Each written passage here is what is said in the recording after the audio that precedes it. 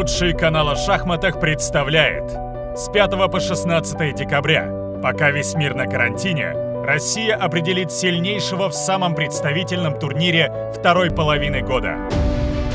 Лучшие шахматисты страны Ян Непомнящий, Сергей Корякин, Петр Свидлер, Никита Витюгов, Владислав Артемьев, Даниил Дубов и другие вступят в борьбу за титул чемпиона России 2020 года. Следите за суперфиналом только на канале Левитов Чес.